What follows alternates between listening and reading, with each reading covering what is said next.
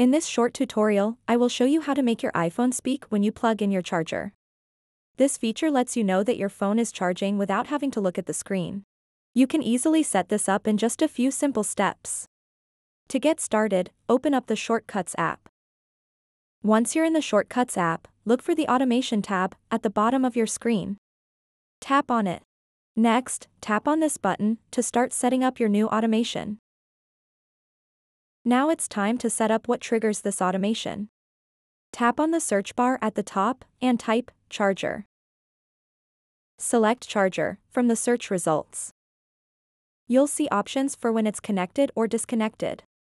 Make sure is connected is selected so that this automation activates when you plug in your charger. Next, ensure that run immediately is selected as well. This allows your chosen action to happen right away without any delay. Also, turn off notify when run.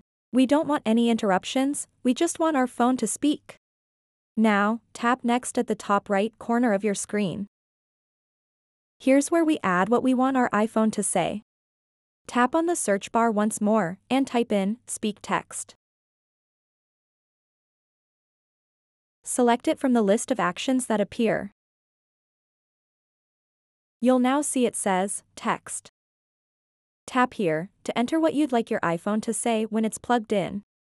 Once you've entered your desired message, tap on Done at the top right corner of your screen. This saves all changes made. And there you have it. Now whenever you plug in your charger, listen closely because your iPhone will speak out loud.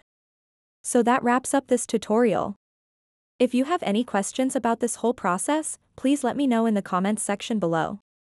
And if this video helped you out, please give it a big thumbs up and subscribe to this channel for more tutorial videos like this one. Thank you so much for watching and have a good day.